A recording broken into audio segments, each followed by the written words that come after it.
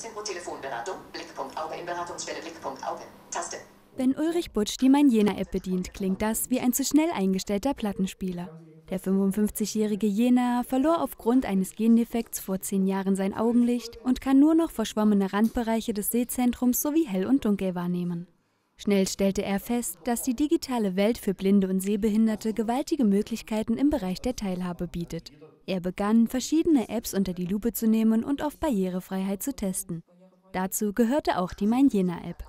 Es ist so, dass ungefähr vor einem Jahr ist die App komplett überarbeitet worden. Und danach gab es mit der Schnittstelle zum VoiceOver richtige Probleme. Das heißt, vieles wurde nicht mehr angesagt. Und das war eigentlich der Punkt, weshalb ich mich dann äh, mit den Stadtwerken von der Frau Henschel in Verbindung gesetzt habe und so die Menge besprochen habe, um die ganze App auch besser zu machen und auch für uns zugänglich zu machen. Und das haben Ulrich Burtsch und die Stadtwerke dann auch getan.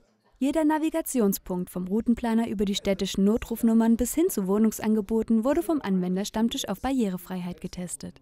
Per Voice-over-Technologie wurden dann sämtliche Funktionen der App vertont. Seit Dezember ist sie für Menschen mit Sehbehinderungen im Betriebssystem iOS komplett barrierefrei nutzbar. Dazu hat vor allem der Anwenderstammtisch rund um Ulrich Butsch beigetragen.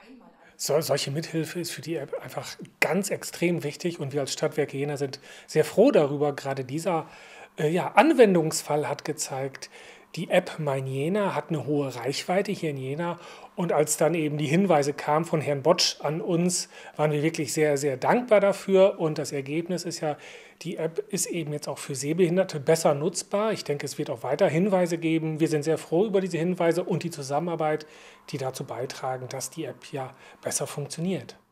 Inzwischen wurde die Mein Jena-App rund 100.000 Mal heruntergeladen. Etwa 3.000 Nutzer verwenden die kostenlose App täglich. Dabei sind lokale Nachrichten, Veranstaltungstipps und Routenplaner die am häufigsten genutzten Bereiche. Mit der Hilfe von Ulrich Butsch und seinem Anwenderstammtisch gelang es nun, die App zum funktionalen Alltagsbegleiter auch für Blinde zu machen.